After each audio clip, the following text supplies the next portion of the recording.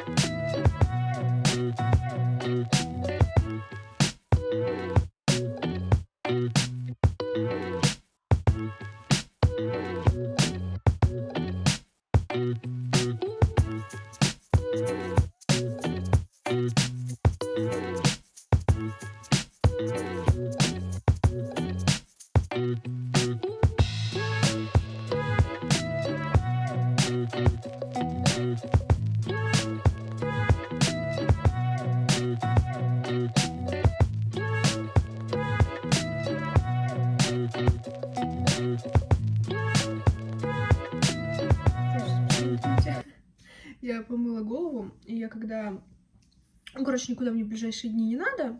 Я обычно волосы не укладываю, они у меня вот так вот просто сохнут сами по себе, а потом, если что, просто челку вытягиваю, укладываю как мне надо, и все. А, посоветовала мне подружка, давно еще советовала попробовать вот эту вот э, витаминную серию из фикс прайса. Я попробовала такой вот АЕ витамин. Она говорит то, что вообще стоит копейки, по-моему, 77 рублей стоит крем или 55, ну, в общем, э, до 100 рублей что-то.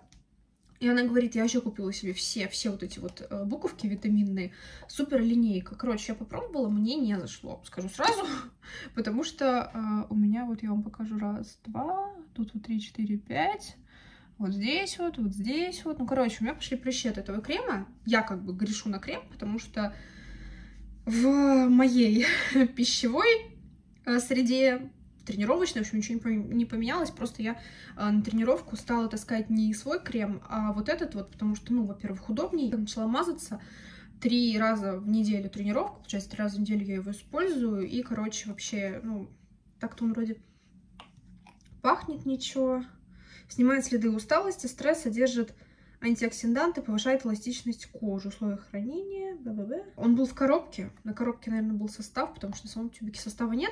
В общем, я его теперь использую только на руки, потому что на лицо, ну, повторюсь, вот эта вот прям вообще история мне супер не нравится. О чем я с вами еще так хотела, не знаю, поболтать. Так как я назвала это видео «Мои привычки», да знаете, это не то, что какие-то там привычки реальные, новые, там, не знаю, мои, что я там пробую, из разряда больше тренируйтесь, пейте воды и так далее. Нет, я немножко за собой заметила некоторые изменения в моем мышлении. Меня на эту волну натолкнуло то, что сейчас мне очень часто снова стали попадаться видео, вообще вот эта вся тема, посвященная там карте желаний, визуализации. Я карту желаний вообще никогда, условно говоря, делать не пробовала. Я помню, как-то пробовала делать что-то наподобие из разряда в виде заставки на компьютер.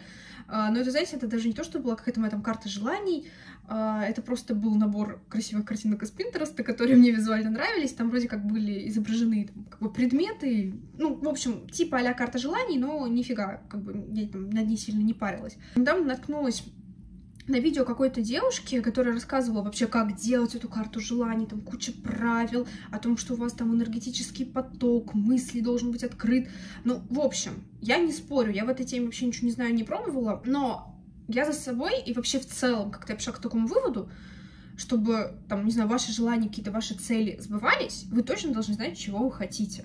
Это, вы знаете, из разряда надо плыть по течению, но плыть по течению в конкретную сторону. Вот, ну, условно говоря, надо вот это вот течение как-то форсировать. То есть надо не просто там плыть вот в этой реке жизни, включаем философа, там, а просто, ну, знать, что в конце там вот что-то есть, ты вот к чему-то, вот какие-то эти усилия ты прикладываешь реально для чего-то. Я вот так за собой заметила о том, что я, например, точно, вот прям на сто процентов знаю, в какой сфере я хочу реализоваться, каким образом я хочу зарабатывать деньги, что мне приносит удовольствие, вообще, да, какой профессией я хочу заниматься. Я точно знаю машину своей мечты, марку, модель, цвет, комплектацию, цену, все.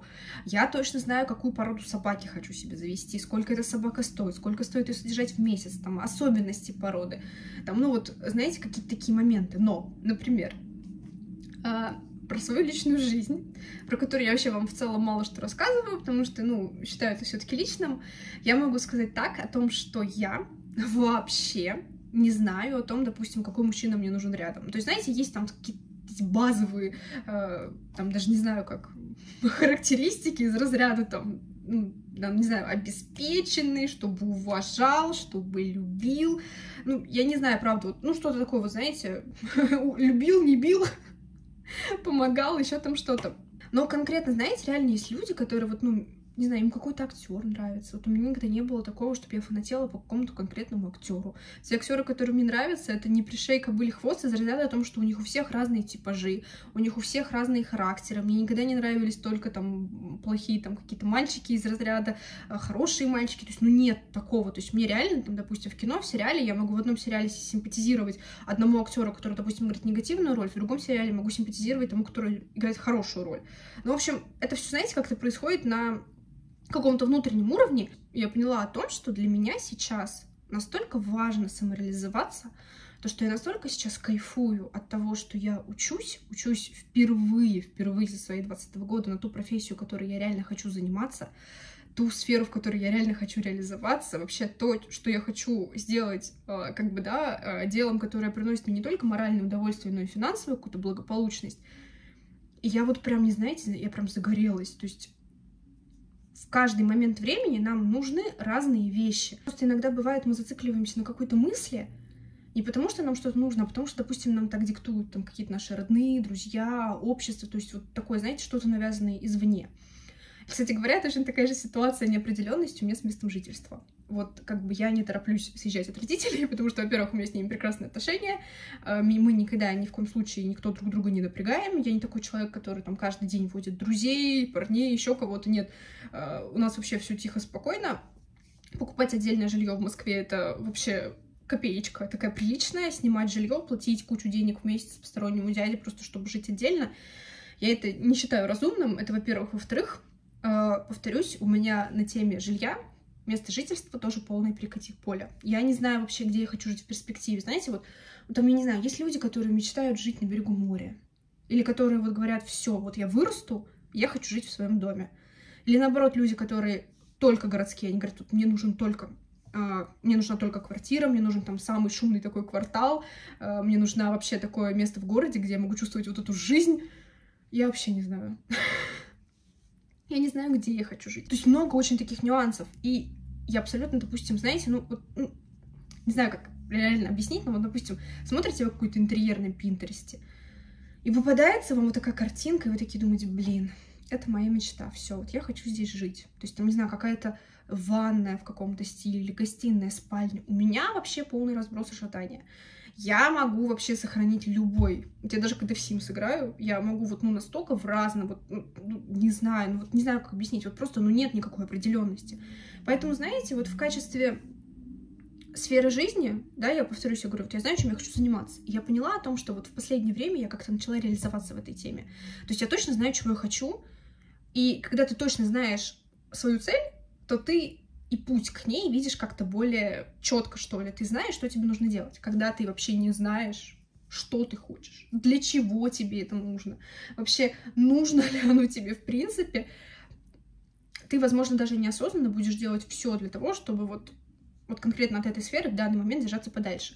В общем, для чего вообще вся эта моя сейчас тирада? Какую привычку я за собой выработала? Вообще, что я вам хочу сказать? О том, что когда мы видим какую-то красивую жизнь и какую-то красивую картинку в Инстаграме, о том, что там кто-то женился, родился, купил себе дорогую вещь или еще что-то, мы должны понимать о том, что мы, мы и вот этот человек на фото абсолютно два разных.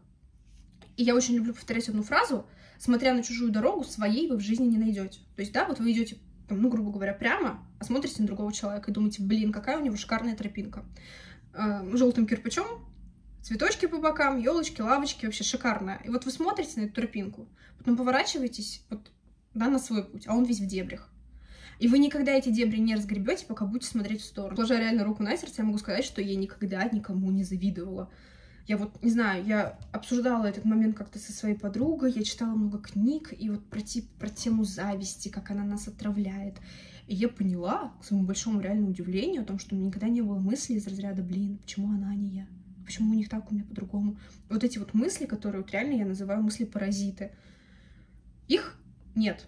И у меня не то, чтобы... У меня всегда было доверие к жизни, вообще доверие к судьбе. Я всегда говорила вам о том, что я супер верующий человек. Верующий человек не в плане там я верю вообще во все. Э, я верю вообще, в принципе, в какие-то высшие силы, в том, что у нас как, каким-то образом все равно какие-то там, не знаю, материальные блага, э, та же самая карма, вот этот закон бумеранга, про который я вам твержу в каждом видео, вот они как-то распределяются, ну, потому что это реально так, иначе бы мир на нас просто рухнул, мне кажется, если бы вот абсолютно все было вот черти как. Не знаю, это, это моя точка зрения, я вам ее ни в коем случае не навязываю, я вам просто вот транслирую такую простую мысль. Возьмите себе за привычку не то, что там не завидовать, а вообще в целом внимание не обращать на других людей. То есть не то, что не обращать внимания, а, ну, не знаю, воспринимать их как декорации к вашей собственной жизни. То есть, знаете, вот эта вот классная песня из молодежки, я в этом фильме главный актер, я в нем сценарист, я режиссер. Относитесь к себе как к главному герою какого-то фильма, сериала. Романтизируйте свою жизнь, не драматизируйте, романтизируйте, это важно. И действительно относитесь к другим людям как к декорациям. Как к декорациям и ну, не знаю, возможно, это звучит грубо, но я думаю, вы меня поняли. И не то, что как декорациям, а как, не знаю, каким-то таким фактором, которые призваны в эту жизнь для вас, чтобы вас, во-первых, чему-то научить, чтобы вам что-то показать, чтобы донести до вас какую-то мысль, какая-то, знаете, не знаю, проекция. Вот не знаю точно, как это описать, но я действительно взяла за собой привычку такую о том, что если там у кого-то что-то хорошее случается, я искренне за человека радуюсь. И как бы я такая думаю, блин, ну было бы здорово. Но я понимаю, что сейчас, допустим, к этому конкретному событию я не готова. И я такая думаю, блин, там, ну здорово. Но я понимаю, что мне сейчас это не нужно, и я с каким-то, не знаю, предвкушением, с каким-то, я не знаю, дов... с каким-то, не знаю, наверное, все таки доверием к жизни жду, когда какое-то хорошее событие, которое важно мне, случится со мной. Не точно такое же, а вот именно то, которое надо мне, то, к которому я стремлюсь, то, которым я ставлю свою цель. Поэтому я не знаю, действительно, не знаю, напишите мне, поняли ли вы, о чем я говорю. Я надеюсь, что я вам хоть чуть-чуть смогла реально донести эту мысль. Прежде чем чего-то хотеть, реально подумайте о том, нужно ли оно вам сейчас, а что конкретно вы хотите и, и так далее. Да. Философ-размышлитель из меня, конечно, тот еще.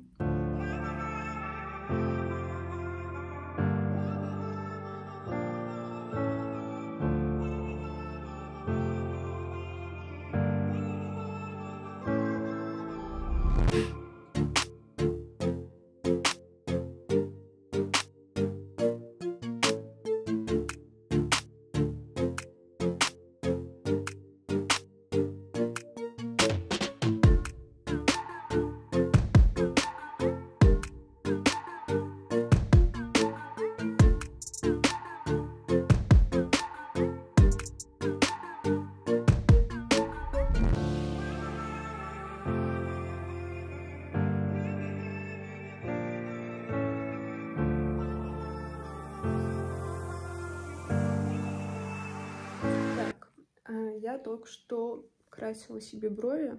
Только что вот я прям краску смыла. Сейчас мы их гелем зафиксируем. Кстати говоря, напишите мне в комментариях, интересно ли вам о том, э, как я крашу брови. Я это делаю в домашних условиях.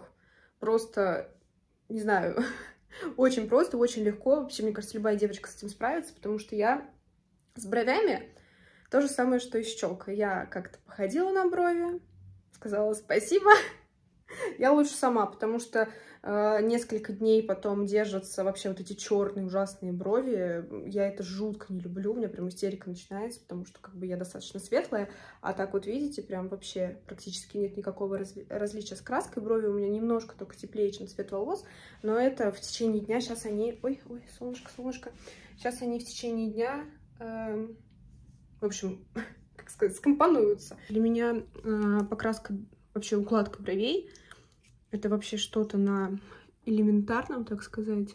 Мне кажется, это вообще может любая девочка сделать. Как бы я не делаю там ламинирование, я только делаю коррекцию и прокраску волосков.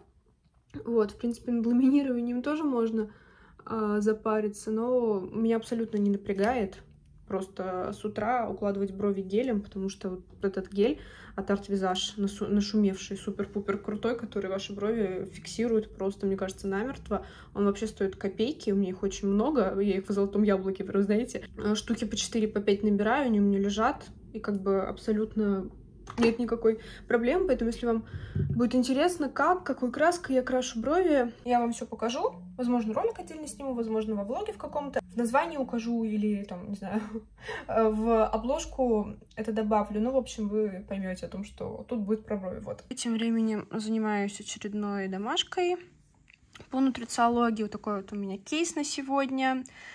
Можете почитать. Вот, можете ознакомиться. Вот у меня, видите, задание. Нужно ответить на вопросы. И вот тут вот указано о том, что не надо ничего рассчитывать, а просто составить, в общем, сбалансированный полезный рацион на основе предпочтения клиента. Вот я тут начала, но это не все, это я прям только что села, это не все мои рекомендации. Сейчас еще буду писать, вот только меню начала составлять, только завтрак пока что написала, вот, поэтому вот так вот. В целом, э, все, что я вам рассказывала в предыдущем влоге про площадку, да, про ошибки в презентации, про вот это все, я во всем этом написала в чат, написала куратору, вроде как они сказали то, что они отреагировали, то, что они там э, возьмут эту презентацию на перемонтаж, на перепроверку, но как бы это надо делать сразу, потому что, да, повторюсь, деньги не маленькие, народу дофига, которые этот курс проходят, и раз вы, ну, позиционируете свой курс как для людей без медицинского образования, то вы должны вообще очень внимательно всю информацию проверять, всю информацию структурировать, чтобы у людей возникало минимум вопросов, потому что, я повторюсь, когда был первый блок про физиологию, про процесс пищеварения, а, я вообще в этом не бум-бум, я вообще этого не знаю, но при этом лектор был потрясающий, лектор все настолько корректно, настолько понятно объяснил, то, что к нему вопросов никаких нету. А вот то, что дальше непосредственно связано с питанием, а, там прям ну, многовато ошибок. В целом, вот эти все кейсы, вот эта вся домашка, она очень интересная. Мне прям нравится смотреть, выникать, какую-то дополнительную литературу, статьи, читать про все эти болячки, про питание во время этих болячек. Потому что э, вчера, нет, позавчера был семинар с девочкой, с нутрициологом, я ее погуглила, как я поняла, могу ошибаться, но вроде как я нагуглила о том, что у нее нет медицинского образования, она проходила курсы по нутрициологии на трех разных площадках, у нее достаточно большой опыт. Она рассказывала про клиентов, вообще про то, как она строит с ними диалог, про свою работу. И мне очень понравилась эта девочка. Ну, сразу, знаете, есть люди, которые прям к себе располагают, очень она понятно все объясняла. Мы с ней там тоже поговорили, ну, как э, дают задание на группу, группа вся молчит. Вот меня, конечно, всегда тоже такие люди удивляют, то есть как бы вы платите деньги, вы приходите на курс, но при этом вы как бы, ну, не сильно участвуете. Просто обычно вот всегда на этих семинарах участвую я и еще пара человек, а остальные все, как правило, молчат. Ну, это как бы дело каждого, вот, но отвечала я, кейс, мы с ней так поговорили, она мне объяснила, какие она у меня ошибки увидела, а, я это взяла себе на заметку, ну, в общем, повторюсь, очень мне понравился вот этот вот э, живой диалог с человеком, который реально это практикует, у которого нет медицинского образования, точно так же, как у меня, но который просто вот реально варится, интересуется и очень, кстати говоря, неплохо знает всю эту тему питания, поэтому я пошла делать дальше домашку и, если что, вам покажу что у меня там получится, а потом после проверки, если вам будет интересно, покажу там э, комментарии преподавателя и вообще какие ошибки она у меня нашла.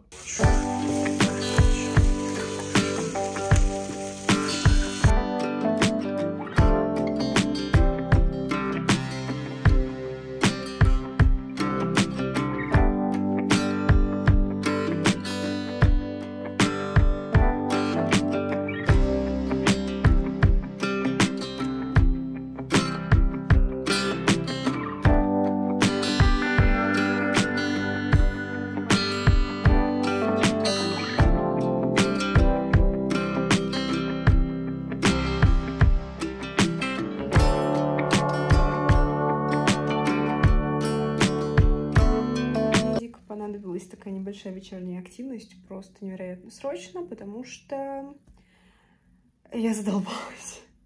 У меня болит спина, и у меня болят глаза, и я наконец-то доделала этот кейс просто изжога. Меня она вывела. Серьезно, я очень много статей, очень много информации всякой прорыла, потому что вот изжога оказалась реально самой проблемной. Так что вот так вот. Э, не знаю, все равно я в этом не уверена. Я еще завтра с утра проснусь, посмотрю. Только потом буду отправлять на проверку, потому что я сегодня просто пропустила лекцию. Не то, что я ее пропустила, рассчитана лекция на три дня, то есть вот она же в записи, и рассчитывается то, что студенты ее посмотрят в течение трех дней, поэтому, в принципе, у меня время еще есть, просто я хотела, думаю, сегодня, возможно, хотя бы конспект напишу, потому что я сначала делаю конспект, а потом уже слушаю лекцию как бы повторно целиком, потому что, ну, потому что мне так удобнее. Возможно, я делаю двойную работу, но я так лучше запоминаю, поэтому, собственно говоря, мне не сложно, время у меня на это есть, я на это специально его выделяю, поэтому делаю вот так вот. Короче, я это хочу закрыть, потому что все, у меня глаза сейчас на лоб полезут, а я хотела сегодня еще этот ролик помонтировать, поэтому я скорее сейчас пойду что-нибудь поужинаю, возможно, выпью чаю и э, начну монтировать, иначе я просто ничего не успею сделать в срок. Еще знаете, короче, какой мыслью хотела с вами поделиться? А, я вам много раз говорила о том, что я сейчас на тренировках постоянно слушаю какие-то лекции по психологии, лекции по истории, по искусствам. Короче, вот именно у меня тренировка делится на две части, на силовую часть и на кардио. И вот когда а, идет силовая тренировка, я обычно очень сосредоточена, сосредотачиваюсь на своих мышцах, на том, чтобы качалось, задействовалось то, что нужно задействовать и так далее. И, короче, я вот в такие моменты, меня очень сильно почему-то раздражает музыка. Раньше я всегда ходила заниматься под музыку, сейчас я, короче, мне нужно, чтобы со мной кто-то разговаривал. Вот я за собой заметила то, что мне невероятно заходят какие-то такие лекции, вот, и смотрю не только лекции, смотрю видео просто у других каких-то блогеров на психологические темы и так далее. И вот в последний раз Э, слушала лекцию, ну не лекцию, просто видео было у девушки, у нее было немного подписчиков, просмотров, было немного на видео, да, сравнительно, но она сказала такую вещь, куда, собственно говоря, знаете, господи, как же она говорила, короче, видео было посвящено теме энергетических дыр в нашей жизни, то есть вот куда, допустим, та же самая вообще энергия жизни, женская энергия, там, ну просто элементарно наша энергия, которая мотивирует, которая нас заставляет э, самосовершенствоваться, которая вообще заставляет нас двигаться вперед, то, что у каждого человека есть такие своеобразные дыры, куда они эту энергию просачивают, теряют ее таким образом, просто вот, э, как бы, знаете, живут, так сказать, не на всю силу. Вот она там... Фу, слушайте, что-то у меня отдышка. Отдышка. А это все потому, что вместо того, чтобы направить меня к неврологу, наша поликлиника выписала мне успокоительные таблетки гоме... Гомеостресс. Короче, буду требовать, чтобы мне невролога дали. Ладно, другая история. А, вот. И она, в общем, в своем ролике затрагивала тему бывших отношений.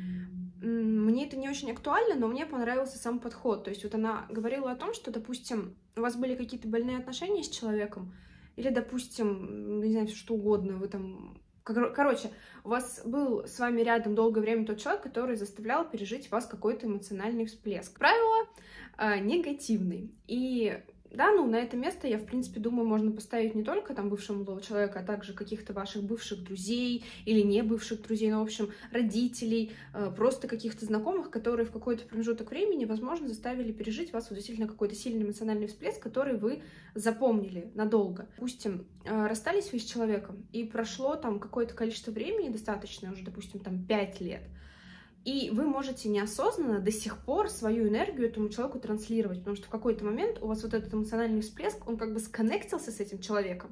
И, допустим, вы не то, что периодами его вспоминаете, не то, что там периодами вы там его забыть не можете, и поэтому у вас энергия растрачивается, а просто вот сам факт того, что мы неосознанно можем в каких-то ситуациях вести себя более уязвленно, что ли. То есть вот нас один раз, как бы, знаете, ударили, обидели, мы это запомнили, и мы это, как бы, знаете, на какую-то мышечную память. Вот есть мышечная память. Э, я таким образом в музыкальной школе ноты учила. Вот я не могла одновременно смотреть в ноты и играть на пианино. Вот, ну, не получалось. Я либо вот так вот по каждой клавише нажимала, смотря в ноты, либо я учила произведение наизусть. Вот, вот так вот, как бы, да, чтение нот вообще было не мое. И то же самое и здесь. То есть у нас есть какая-то мышечная память. Или, допустим, в танцах.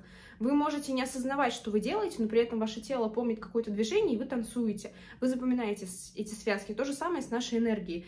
То есть у вас повторяется примерно какой-то такой же болезненный момент, или хотя бы приближенный, в общем, какой-то триггерный случай, и вы сами на своем сознательном уровне уже давным-давно, там, допустим, про человека, про ситуацию забыли, а ваша энергетическая память это все помнит, и таким образом потенциально энергию, которую вы должны были, по идее, направить там, в мирное русло, в свое развитие, она просто сливается на то, чтобы эти энергетические дыры залатать. Я не знаю почему, но мне это настолько откликнулось, не в том плане, что я там какая-то травмированная, хотя мне кажется, мы все травмированные по части. Вот эту книжку читала летом, я вам тоже про нее много рассказывала, у меня вот тут, тут очень-очень много закладок. А, Ребенок в тебе должен обрести дом Стефани Шталь. Вот тут вот очень много про отношения с родителями, отношения уже потом, как это все транслируется во взрослый мир. И, кстати говоря, я вам скажу честно, я прочитала, ну, условно говоря, наверное, процентов 60 от этой книги, потому что большая часть посвящена негативному влиянию, которое мы запоминаем. Вот как раз-таки из этой книги подчеркнута такая мысль о том, вот, ну, бывают иногда вот такие, блин, Почему я запоминаю только плохое? Или, допустим, ссоритесь вы с человеком, предъявляете ему там какое-то нехорошее отношение к себе, а он говорит, блин, ты что такая злопамятная? Ты почему только плохое помнишь? Ты почему хорошее не помнишь? Это все не просто так. Здесь вот в книжке транслируется такая мысль о том, что запоминать все плохое — это наша э, генетическая, так сказать, предрасположенность, которая идет еще от древних людей, потому что древние люди, которые, да, совсем-совсем вот древние, они должны были запоминать опасных хищников, должны были запоминать всякие опасные места, опасные коренья, опасные там ягоды, цветочки, лепесточки, которые они использовали для э, пропитания. У них не было времени наслаждаться моментом. У них не было времени испытывать счастье, лечь на лужок, раскинуть ручки, греться на солнышке. Они постоянно жили в опасности. И вот еще, как бы, да, вот с этих древних, прям совсем доисторических времен э, у нас, как наш фактор защиты все нам это вот так вот передается, то, что если нам человек сделал что-то плохое, мы это запомнили. К сожалению, вот ну, так работает наша психика. К сожалению, а, положительные моменты мы, да, каким-то вот образом мы стараемся их запечатлеть, мы фотографируемся, мы там дневник ведем, посты какие-то выкладываем. Для того, чтобы запомнить негативный момент, много ума не надо, он как-то сам запоминается на корочку, это вот все, потому что это вот такая вот часть какой-то, вы знаете, безопасности, самозащищаемости, в этом нет ничего странного.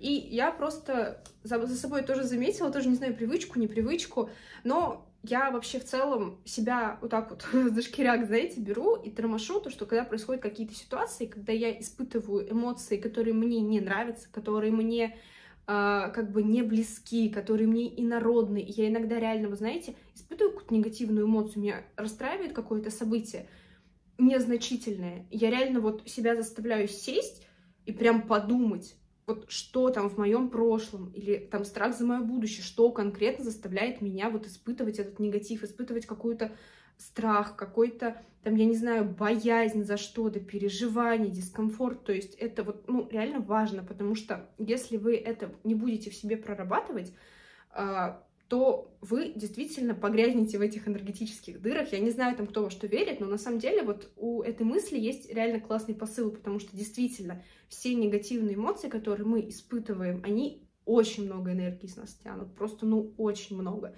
И нужно иногда реально просто вот сесть в кресло, выключить все, создать себе тишину, не можете это сделать дома, уедьте куда-то в парк, а, закиньтесь какой-нибудь релаксирующей музыкой в наушниках, просто сядьте и реально подумайте. Допустим, вот эти всякие эмоции, связанные с завистью, эмоции, связанные со страхом. А, мне очень, вот как бы, как сказать, мне очень свойственно черта э, злопамятности. Я всегда, как бы, знаете, шучу про то, что я овен, и про то, что, как бы, ну, ситуация, типа, проехали, проехали, снова дружим. А я вот действительно всем своим близким людям могу, наверное, по секундам сказать, кто когда мне там какую-то нехорошую вещь сделал.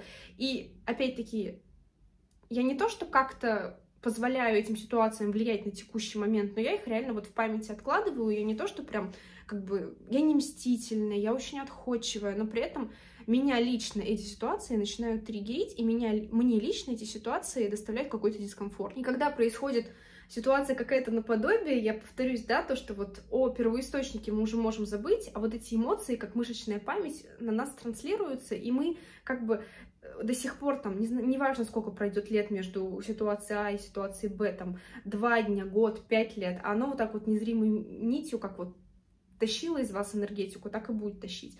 Поэтому вот я действительно, вот, наверное, здесь тоже очень сильно влияет то, что я в последнее время живу на авиарежиме, это добавило мне в жизни какой-то осознанности, очень здорово понизило мой уровень тревожности о том, что я действительно начала анализировать свои эмоции. Не просто вот я там испытываю какую-то негативную эмоцию, говорю, так, все, Настя, успокойся, это все фигня, ты сейчас зря растрачиваешь нервы, успокойся. Нет, так не работает. Э, нужно просто действительно сесть и подумать, а почему? вот создать эту логическую цепочку, в какое время, вот из-за чего вот вас сейчас так триггерит, из-за чего вы испытываете эту негативную эмоцию, потому что вот у меня действительно, вот помимо какой-то моей злопамятности, э, которая вроде как на людях не, не отражается, слава богу, я это очень хорошо контролирую, научилась с возрастом. Помимо всего этого, я постоянно испытываю страх за свое будущее, я испытываю страх не самореализоваться, еще что-то. Это, знаете, мне кажется, одна из распространенных таких вот каких-то ситуаций, которые тревожат людей. Конечно, для кого-то, возможно, самореализация это не важно, но для меня это очень важно. Я не смогу вот просто сидеть дома, не смогу просто, там, не знаю, убирать посуду, квартиру, воспитывать детей. Мне нужно чем-то заниматься, мне нужно иметь какую-то связь с людьми. Поэтому я, наверное, в каждом ролике говорю, насколько сильно я вас люблю, насколько сильно у нас вот это вот, вот это вот с вами какая-то связь, насколько вы просто крутая, отзывчивая аудитория, потому что это действительно за последний вот год, там сколько, чуть больше года я активно веду YouTube-канал, и насколько важно чувствовать вот эту энергетическую отдачу.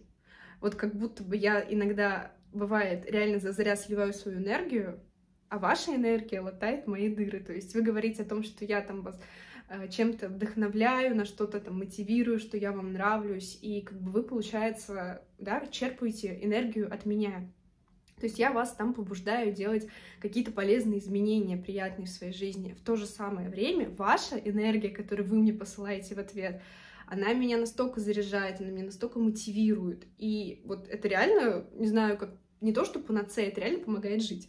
Вот так вот, поэтому, не знаю, действительно, попробуйте рефлексировать. Это еще одно модное сейчас слово, типа дышим маткой, медитируем, теперь еще и рефлексируем, но это реально важно, это, знаете, это чем мне нравится наша современность, чем мне нравится современная молодежь, по большей ее части, то, что сейчас люди действительно становятся осознанней. То, что мы действительно копаемся в себе, копаемся в себе в хорошем смысле. Мы копаемся не для того, чтобы найти в себе какие-то недостатки, то, что я там какая-то не такая или еще что-то. Нет, мы копаемся в себе, чтобы найти первоисточник наших каких-то триггеров, наших каких-то проблем, проработать травмы из детства, потому что не бывает идеальных семей, не бывает идеального детства, не бывает... Да много чего, вообще ничего. Вот так вот. Ничего не бывает идеально. Все оставляет на нас какой-то след. И наша задача э, сделать этот след просто максимально комфортным для нас, максимально позитивным, максимально сглазить какие-то острые углы. Поэтому я надеюсь, то, что за этот ролик вы получили мою положительную энергию. Как всегда, бумеранг добра, он неизменно присутствует в каждом моем ролике. Посылаем в мир, в атмосферу только позитивную энергию, все остальное мы оставляем карме, она с этим прекрасно справляется. Обязательно ищите меня в других социальных сетях, я активно, супер активно веду Телеграм, меня там больше всего. Ссылка на Телеграм есть в описании, а также есть QR-код конце ролика. Ну и такая интересная социальная сеть с карточками, с картинками, с фотографиями. На нее ссылка тоже есть в описании, поэтому если вам интересно посмотреть меня еще на каких-то других площадках, то, как говорится, welcome. Ну а я вас безумно люблю. И прощаюсь с вами очень-очень ненадолго, всего лишь до следующего ролика, который выйдет на следующей неделе. Да, у меня ролики выходят регулярно раз в неделю, поэтому я тебя долго скучать не заставлю, поэтому обязательно проверяй подписку на канал. Пиши комментарий, ставь лайк. Такая активность она очень помогает развитию канала. Вам это два клика, а для канала это огромная польза, поэтому обязательно пишите комментарии, отвечайте на другие комментарии. В общем, взаимодействуйте с каналом, если хотите мне так немножко помочь в его продвижении. Ну а я вас безумно люблю, целую и прощаюсь с вами ненадолго, всего лишь до следующего ролика. Пока-пока. thank you